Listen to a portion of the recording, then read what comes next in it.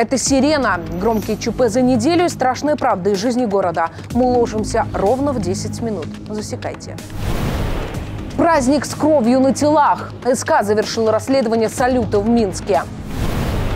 С акцентом на правила, которые спасают жизнь. В стране масштабно финишировала неделя безопасности. И как необычно можно подойти к делу, даже уголовному, расскажем.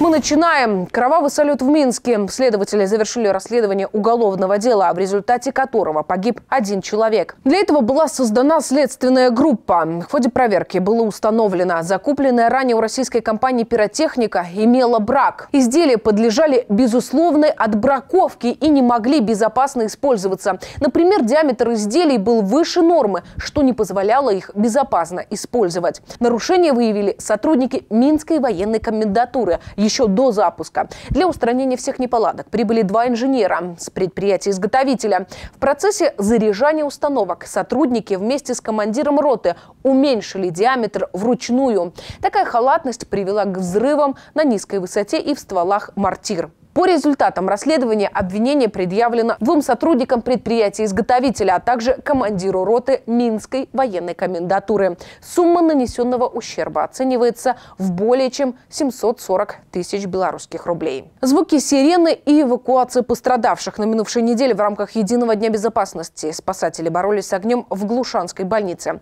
Пожар произошел на втором этаже. При этом выход двум людям был заблокирован огнем. Чем закончилось? История расскажет Мария Бересневич. Здравствуйте, Глушанская больница, Октябрьская, 46А. Условное учение. Условный пожар в местном учреждении здравоохранения начинается с ординаторской. Согласно сценарию, в этот момент на втором этаже находится 24 человека. Среди них как пациенты, так и медперсонал. Кто-то спускается вниз самостоятельно, кому-то же нужна помощь.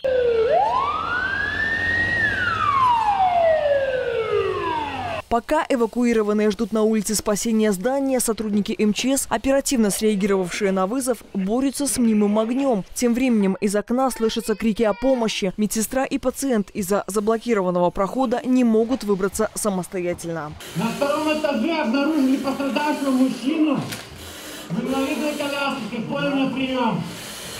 Проводите эвакуацию с использованием маски пострадавшего. Главный герой инсценировки Владимир Чумаков в больнице лежит вот уже два года. За это время, говорит мужчина, здесь обходилось без ЧП. Однако теперь пациент точно убежден, в случае чего спасатели вовремя придут на помощь. Я надеялся на них.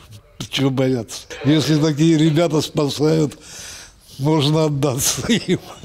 Буквально пять минут и возгорание как не бывало. Очаг ликвидирован, пострадавшие спасены, помещения проверены. Между тем, отмечают сотрудники МЧС, в жизни сценария нет. Малейшее неправильное действие на первоначальном этапе зачастую стоит человеческой жизни. Здесь как раз на помощь и приходит слаженное действие медперсонала и автоматическая система раннего обнаружения пожара. На мой взгляд, все прошло достаточно слаженно, потому что мы знаем, что теория без практики это ничто. Поэтому сегодня на практической, э, вот такой максимально приближенной, условно, к боевой обстановке мы провели это учение. Подобная тактика специальные учения прошли по всей республике в рамках единого дня безопасности. Весь акцент на то, чтобы в случае реальной беды избежать потерь и трагических последствий. 1 марта движение официально завершается, но это не значит, что важные теме больше не будут уделять внимания. Но персонал Глушанской больницы без сомнений прошел боевое крещение. Мария Бересневич, Дмитрий Шевцов. Итоги недели.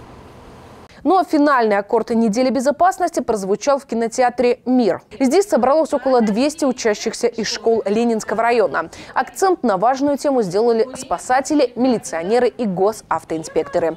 Через инсценировку и мультипликацию сотрудники ведомств еще раз напомнили детям об элементарных правилах, которые спасают жизнь. Ключевым моментом стала учебная эвакуация. По легенде, прямо во время встречи в кинотеатре произошел пожар и сработала сигнализация. Детей, конечно, никто не предупреждал, и, к счастью, все эвакуировались, во-первых, быстро, без паники, что правильно для этой процедуры. Э, и, конечно, персонал также правильно сработал, потому что помогли э, детям найти выходы. Таких было много выходов. Вот, дети моментально, буквально в считанные минуты оказались на улице. И, собственно, мы, мы довольны результатом, что никто не пострадал, и все обошлось хорошо. Но уже 2 числа у сотрудников МЧС стартовала новая акция. День безопасности. Внимание всем! Пусть Название другое, но задача все та же – предотвратить ЧП и гибель людей на них.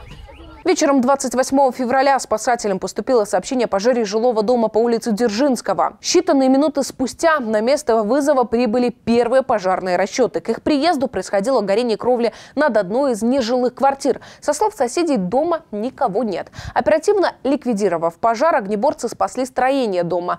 Но без повреждений не обошлось. Уничтожена часть кровли, повреждена оконная рама, потолок в комнате и часть наружной стены. Пострадавших нет, причина устанавливается одна из рассматриваемых версий – поджог.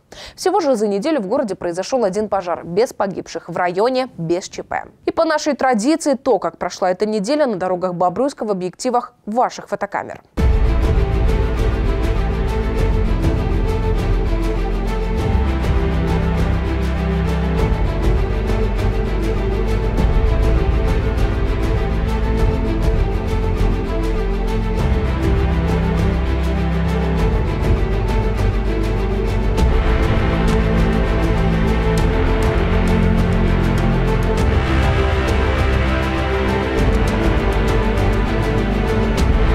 Когда творчество не чуждо, новую форму взаимодействия с искусством, на этот раз кулинарным, продемонстрировали недавно полицейские Британии. Правоохранители изобразили лица нескольких разыскиваемых подозреваемых на блинах. Мол, так быстрее не смогут их найти. Фотоблюда полицейские разместили в Твиттере. В подписи говорится, что это коллаборация с неким художником Филиппом Депаном. Как позже выяснилось, никакого Депана не существует. А портрет рисовали сами полицейские. Нашлись ли те, кого искали, пока неизвестно интересно. Это была «Сирена», но больше новостей ищите на нашем канале в YouTube и соцсетях. Я Кристина Риянц. Увидимся через неделю.